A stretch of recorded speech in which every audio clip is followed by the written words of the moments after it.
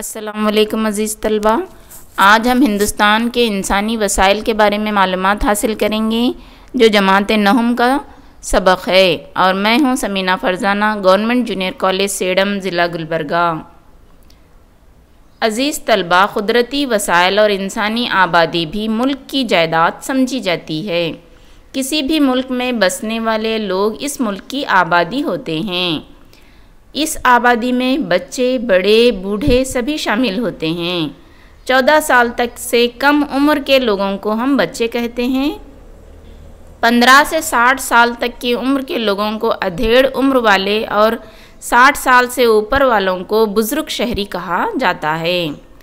پندرہ سے ساٹھ سال کے طبقے کو کمانے کے قابل کا طبقہ کہا جاتا ہے۔ اس وقت بھارت میں یہی طبقہ سب سے زیادہ ہے یعنی پندرہ سے ساٹھ سال کی عمر کے درمیان کے لوگ۔ انسان ایک قدرتی وسیلہ ہے۔ انسانی وسائل کو اگر اعلیٰ تعلیم، ہنر اور صحت کی ضمانت دی جائے، تو یہ انسانی وسائل بن جاتے ہیں۔ یہ انسانی وسائل ملک کی آمدنی کو بڑھانے کا سبب بنتے ہیں اور سماجی تبدیلیاں لانے کا بھی سبب بنتے ہیں۔ طبعی سرمایہ سے زیادہ انسانی سرمایہ قیمتی مانا جاتا ہے۔ زراعت، صنعت اور خدمات کے میدان میں مختلف کاروبار کرنے والے لوگوں کی محنت کو ہم توانائی کہتے ہیں۔ زیادہ آبادی ملک کے لیے زبردست زبردست بوجھ سمجھا جاتا تھا، لیکن چین کی معاشی ترقی کے بعد آبادی کو اب وسائل سمجھا جا رہا ہے۔ بھارت کی آبادی کی خصوصیت۔ عزیز طلبہ جب ہم دو ہزار گیارہ کی مردم شماری دیکھتے ہیں، تو اس میں ہمیں بھارت کی آبادی کی خصوصیات دیکھنے کو ملتی ہیں۔ اس میں پہلا ہے، یہاں آبادی گنجان ہے اور تیز رفتار اس کی نشو نما ہو رہی ہے۔ دنیا کا ہر چھٹا آدمی ہندوستانی ہے۔ اس کی آبادی یعنی ہمارے بھارت کی آبادی، دنیا کی آبادی کے بڑھنے کے لحاظ سے بہت زیادہ ہے۔ مثال کے طور پر اگر دنیا کی آبادی ایک اشاریہ دو فیصد بڑھ رہی ہے، تو ہمارے یہاں ایک اشاریہ آٹھ فیصد اس میں اضافہ ہو رہا ہے۔ آبادی کی تبدیلی کی دوسری سطح۔ بھارت اس وقت آبادی کی تبدیلی کے دوسرے اسٹیج پر ہے۔ اموات کم ہو رہی ہیں، بڑھتی ہوئی عمر یعنی بڑی عمر کے لوگ بڑھتے جا رہے ہیں اور ہر ایک ہزار میں پیدا ہونے والوں کی تعداد باویس اشاریہ ایک ہے۔ اور مرنے والوں کی تعداد سات اشاریہ ایک فیصد ہے۔ یعنی ہر سال ایک ہزار افراد میں پندرہ افراد کا اضافہ ہو رہا ہے۔ تیزی سے بڑھتی ہوئی آبادی۔ ایک مربع کلومیٹر میں رہنے والی آبادی کو ہم گنجان کہتے ہیں یا آبادی کی گنجانی اسے ہم کہتے ہیں۔ اگر ایک ملک کی آبادی کو کل رقبے میں تقسیم کرنے سے آبادی کی گنجانی کا حساب لگایا جا سکتا ہے۔ دو ہزار گیارہ کی مردم شماری کے مطابق ہمارے بھارت کا گنجانی کا اوسط تین سو بیسی افراد پر مشتمل ہے۔ جنسی تناسب میں غیر معمولی فرق۔ ایک ہزار مرد کے لیے رہنے والی عورتوں کی آبادی کی کو جنسی تناسب کہا جاتا ہے۔ دو ہزار گیارہ کی مردم شماری کے مطابق یہ تناسب صرف نو سو ترتالیس ہے یعنی ہزار مردوں پر عورتوں کی تعداد نو سو ترتالیس ہے۔ یہ تناسب عورتوں کو خود اختیار بنانے اور ایک صحت مند سماج کی تعمیر کے لیے مناسب نہیں ہیں اگلی خصوصیت ہے، کم کم عمر والوں کی تعداد زیادہ ہونے والا ماحول یہاں پر پایا جاتا ہے۔ بھارت میں آبادی کے حجم میں کم عمر یعنی صفر سے چودہ سال سے کم عمر کے بچوں کی تعداد زیادہ ہے۔ دو ہزار گیارہ کی مردم شماری کے مطابق ماں عمر والوں کی تعداد تیس اشاریہ سات فیصد ہے یعنی ساٹھ سال سے اوپر والوں کی تعداد۔ دیہی آبادی کا تناسب۔ دیہاتوں میں بسی ہوئی آبادی کا تناسب۔ دو ہزار گیارہ کی مردم شماری کے مطابق اڑسٹھ اشاریہ آٹھ فیصد ہے۔ آبادی کا گھٹتا ہوا معیار۔ آبادی کا معیار کی تعلیم ہنر مندی صحت مندی کے حالات سے معلوم ہوتا ہے۔ یعنی علم و ہنر مندی اور عمر کی حد سے اس کا پتہ چلتا ہے۔ یعنی آبادی کی معیار کا پتہ چلتا ہے۔ علم کی کمی کی شرح۔ بھارت ابھی تک سو فیصد تعلیم یافتہ ملک نہیں بن گیا ہے۔ دو ہزار گیارہ میں بھارت کی صرف چھہتر فیصد آبادی کو پڑھنا لکھنا آتا تھا۔ معلوم ہوتا ہے کہ تقریباً تیس کروڑ سے زیادہ لوگ ان پڑھ ہیں۔ عورتوں کی تعلیم کا معیار اور بھی کم ہے یعنی صرف پینسٹھ فیصد عورتیں پڑھی لکھی ہیں۔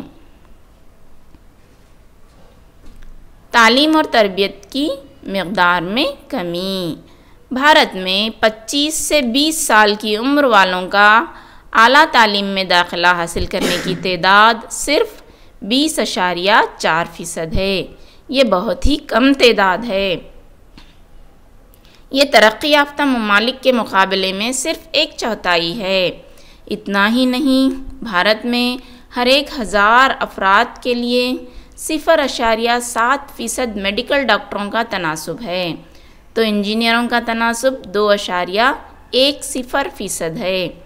یہ بات کو دکھاتا ہے کہ ہنرمندوں کا تناسب غیر متوازن ہے۔ اور کم بھی ہے۔ اوسط عمر۔ اوسط عمر کو زندگی کا اوسط کہا جاتا ہے۔ دو ہزار تیرہ میں عمر کا اوسط صرف پینسٹھ اشاریہ آٹھ تھا، جو دیگر ممالک سے بہت زیادہ کم ہے۔ روزگار میں حصہ لینے والوں میں کمی۔ بھارت میں یہ تعداد بہت کم ہے۔ دو ہزار گیارہ میں صرف انچالیس اشاریہ آٹھ فیصد لوگ ہی برسر روزگار تھے۔ آبادی میں تبدیلی۔ معاشی ترقی اور بڑھتی ہوئی آبادی کے درمیان قریبی رشتہ ہے۔ معاشی ترقی کے ساتھ اس ملک کی آبادی میں بھی اضافہ ہوتا ہے۔ اس کی آبادی میں تبدیلی کے ذریعے تشریح کرتے ہیں۔ ملک کی طرف سے تین منزلوں کو پھلانگ کر آگے بڑھتی ہے۔ یہ وہ یہ ہیں پچھڑے پن کی منزل، آگے بڑھنے والی منزل اور آگے بڑھی ہوئی منزل۔ اگر عام معنوں میں ہمیں سمجھنا ہے تو پچھڑے ممالک، ترقی پذیر ممالک اور ترقی یافتہ ممالک ہم کہہ سکتے ہیں۔ اب ہم پسماندہ مرحلہ کسے کہتے ہیں یہ جانیں گے۔ کوئی بھی ملک معاشی حیثیت سے پچھڑا ہوتا ہے، وہاں غیر غریبی، بے روزگاری زیادہ ہوتی ہے۔ عوام کو تعلیم اور صحت کی سہولتیں نہیں ہوتیں۔ عوام اندھے عقائد اور رسم و رواج کے قیدی ہوتے ہیں۔ اس سے مرنے اور پیدا ہونے والے دونوں کی مقدار یعنی شرح زیادہ ہوتی ہے۔ اس کے باوجود آبادی یہاں پر پسماندہ ممالک میں کم ہوتی ہے۔ ترقی پذیر مرحلہ۔ پچھڑا ہوا ملک معاشی ترقی حاصل کرنے کے لیے کوشش کرتا ہے۔ سرکار سب سے پہلے انہیں تعلیم اور صحت کی سہولیات فراہم کرنے کے لیے آگے بڑھتی ہے، پھر متعدی بیماریوں پر قابو پاتی ہے۔ اس سے مرنے والوں کی سطح فوراً ہی کم ہو جاتی ہے، لیکن پیدا ہونے والوں کی رفتار زیادہ ہی رہتی ہے۔ فی الحال بھارت اسی مرحلے میں ہے، اس طرح آبادی بڑھتی ہی جاتی ہے۔ نقشے میں آپ جو سرخ رنگ کے دیکھ رہے ہیں، یہ تمام ممالک ترقی پذیر مرحلے میں ہیں۔